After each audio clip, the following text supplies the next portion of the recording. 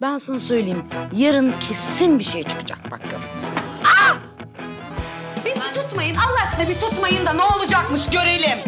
Teşekkürler. Tarkan ters taşıyor abla. Yonca abla demek. Yok yok babaannem başka bir şey söyledi herhalde. Lütfen Ramazan günü bu sıcakta. Hakan'ı seviyorum. Ne? O da beni seviyor. Annem bir daha bu daireyi kiralamama hayatta izin vermez. Sen de mi taşınıyorsun Tarık oğlum? Sen git o kalsın.